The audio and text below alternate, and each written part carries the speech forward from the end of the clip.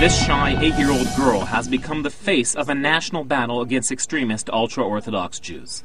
Israel is outraged by the story of Naama Margolis, a second-grade student who fears walking to her religious girls' school because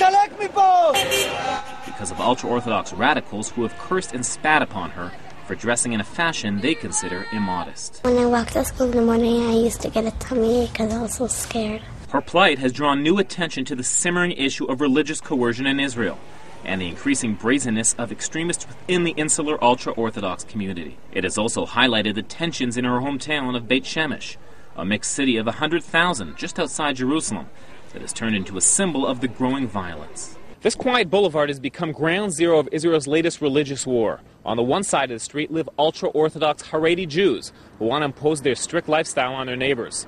On the other side of the street, more modern, observant Jews who say their daughters are being targeted on their way to school. The city's ultra Orthodox leadership has strongly condemned the violence, but it insists the perpetrators are only a small fringe minority. Even so, the tensions in Beit Shemesh follow efforts by the ultra Orthodox to segregate buses and sidewalks and remove female faces from city billboards.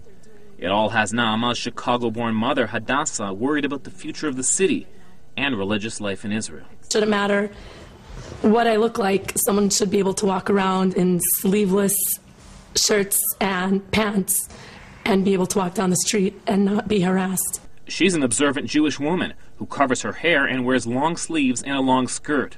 But that's not modest enough for some of the city's ultra Orthodox, Israel's fastest growing sector. There is a tendency to become more extreme on the notion of women and how they should be treated and separated from men in public places. For young Naama, though, all she wants is to walk to school in peace. Aaron Heller, The Associated Press, Beit Shemesh, Israel.